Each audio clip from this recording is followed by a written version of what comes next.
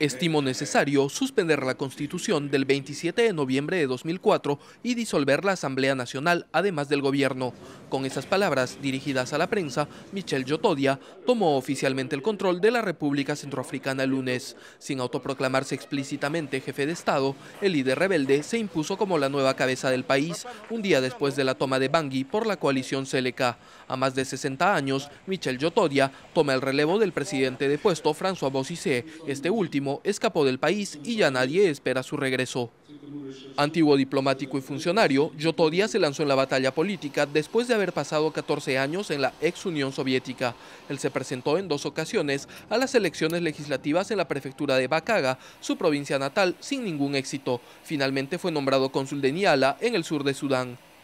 En 2005, Michel Yotodia se convirtió en uno de los líderes de la Unión de Fuerzas Democráticas para la Unidad y tomó el camino de la rebelión contra François Bozizé. Arrestado en Benín en 2007, estuvo algunos meses en prisión antes de refugiarse en Darfur del Sur, desde donde organizó las Fuerzas Armadas que le sirvieron para derrocar al régimen.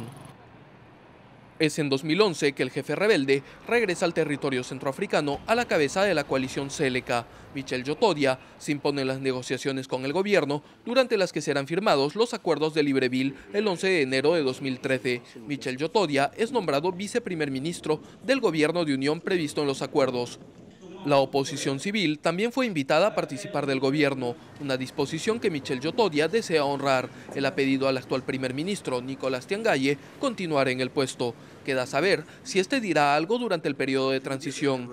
Michel Yotodia tiene la intención de legislar por decreto hasta las próximas elecciones. El líder rebelde confirmó que éstas se llevarán a cabo según lo programado en 2016.